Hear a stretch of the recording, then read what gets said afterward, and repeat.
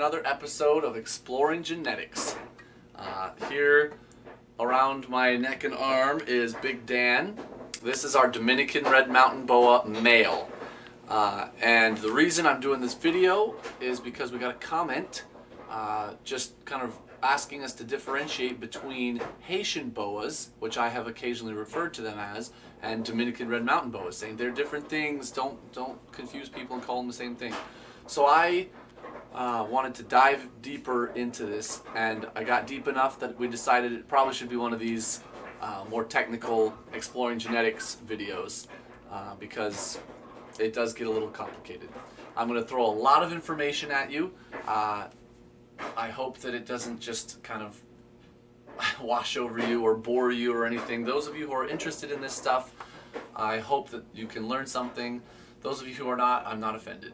Um, the reason I'm here is so that I can use this wonderful whiteboard that you see before you to uh, indicate some of the names that we're going to be throwing out here. And I have to throw out this disclaimer. I do not speak Latin. I will butcher these names, okay? Just know that from the beginning. So, Duly noted. up until recently, 2013 or so, so very recently, this snake and others like it were classified in the scientific community as the genus Epicrates. Okay? That is the same genus as Brazilian rainbow boas. So they were thought to be extremely close. Generally, species within the same genus are thought to be very, very, very closely related.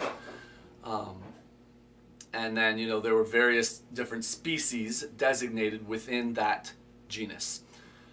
However, uh, a scientist was kind of making his life's work out of these West Indian boa species, and he dug way deeper into their genetics, the fossil record, all the things that scientists use to determine what a species is and what it isn't. Um, and he decided that this clade, uh, which is just a scientific word for a group of related species, uh, was different enough and must have evolved long enough ago from the mainland, you know, South American and Central American Epicrates species that they might deserve their own genus. So he went over, he took several trips over to the Dominican Republic uh, and probably other places around there too because he has data from the Bahamas and from all, all over, Puerto Rico and the Virgin Islands and um, this whole group of the West Indian boas, right? So, at the conclusion of his research, he had all the data from the genetics and the fossils and uh, morphological features, you know, what they look like, how many subcaudal scales they count, and, and all that different things that people use to determine which species a given animal is. And he decided, uh, not decided, but discovered rather, that there are 10 species within the uh, genus of the West Indian boas. He also changed the genus name. He removed them from the Epicrates and reclassified them as Chilabothrus. All right, so the genus that we are working with now is no longer Epicrates. Dominican red mountain boas are not Epicrates uh, striatus is the species name, but the genus is not Epicrates. They are Chilabothrus, which incidentally, Chilabothrus means no heat pits, right? If you can zoom in on his nose a little bit, on his lips, I'll move a little too if I need to. No? Okay, I'm, I'm getting the, the no. Uh, only one of the 10 species within Chilabothrus actually has labial heat pits.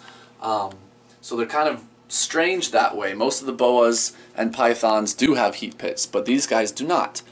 Um, so I'm going to show you here on my beautiful whiteboard the 10 species of Chilabothrus that he has, uh, that this scientist has discovered, and then we'll talk about Striatus, the species that we work with, okay? So, we have Chilabothrus chrysogaster, Chilabothrus exsul, Chilabothrus fordii, Chilabothrus gracilis, Chilabothrus inornatus, Chilabothrus monensis, Chilabothrus striatus, Chilabothrus stridulatus, and Chilabothrus subflavus. So, 10 species, right? And some of these look extremely similar, others are a little bit different. I know there's a, I think they call it a Hispaniolan vine snake or vine boa, something like that.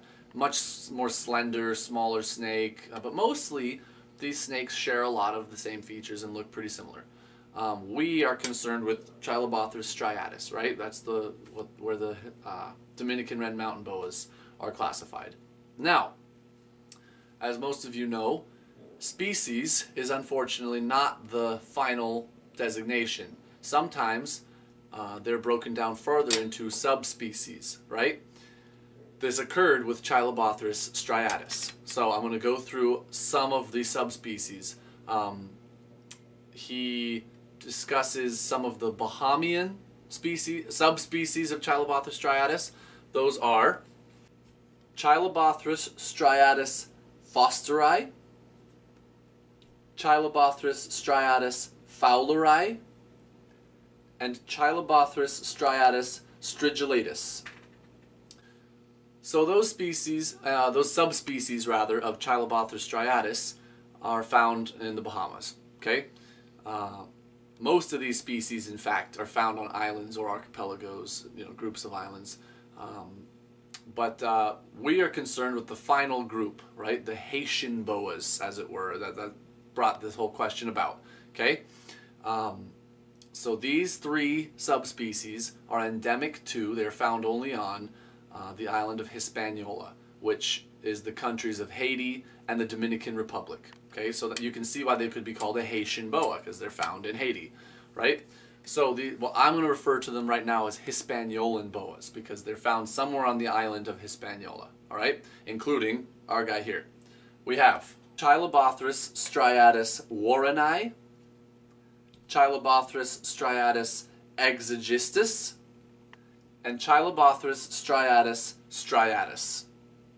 Now, we have an interesting dilemma. This paper only came out six years ago these guys have been around for a lot longer than that. A lot longer than that. Some of the big names in the reptile world have been working with these for a long time. Um, so I can't imagine that hobbyists knew the differences, or even if they thought they knew, I can't imagine they actually knew the differences between these subspecies of Hispaniolan and boas, especially if any one of those subspecies might have a bright red face. The head shape's the same. The overall size is similar. The diet is the same. They're crepuscular animals, which means they come out mostly um, in the early, early, early morning and then the, the twilight, right? So not really the middle of the night like a nocturnal animal. But anyways, my point is, I can't imagine that hobbyists knew the difference between these animals. So I also would assume that all three of those Hispaniolan subspecies, when they were being gathered up and, and imported into the United States, were just sold as Haitian boas, right?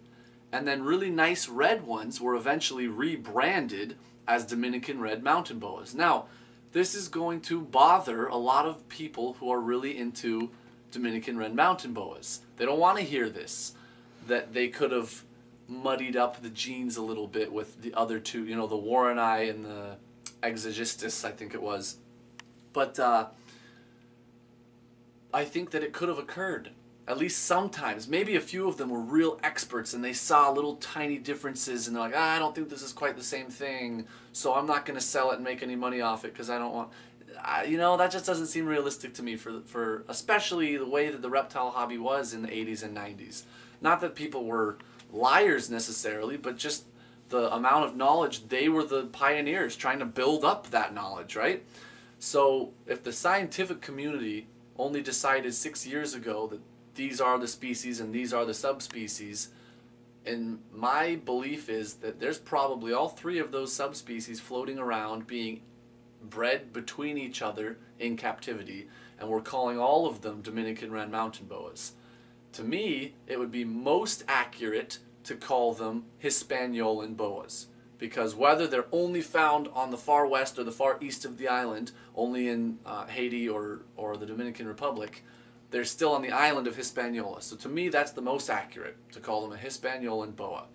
Um, Dominican red mountain boa is just another common name that someone came up with to kind of describe them. They are from the Dominican Republic. They are, I'm sure they could be found up in the mountains there, and they often are red. So it's a very good descriptive name, but they're not necessarily different from a Haitian boa, right? Now, there are other species of boas that can be called Haitian boas. This is the problem with common names, guys. Scientific names are much more useful for this because you're not going to say these two different species have the same scientific name. They don't. Now, two different species might have the same common name. That happens all the time, unfortunately. We get confused. But there are other snakes that can be called a Haitian boa.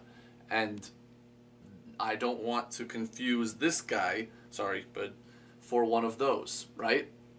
So I'm trying to decide right now as I'm speaking, maybe I should stop referring to them at all as Haitian boas and either just go with Dominican red mountain boa or, or Hispaniolan boa. I'm not really sure. Um, and I kind of, I'm hoping for some feedback for some, from some of the top names in the reptile hobby who work with this species. Uh, I might go, there's a Facebook group for them. If you're interested in the species, you really should check that out. The Dominican red mountain boa Facebook page or whatever it is. But uh, I go on there a lot, and they've got some great information on there, some some awesome hobbyists and breeders and all that. But uh, I'm gonna kind of try and reach out to some of them and, and, see what they think about all this because um, I think it's important to be accurate in the reptile hobby. We've come such a long ways from just importing waves of animals and selling them off as whatever.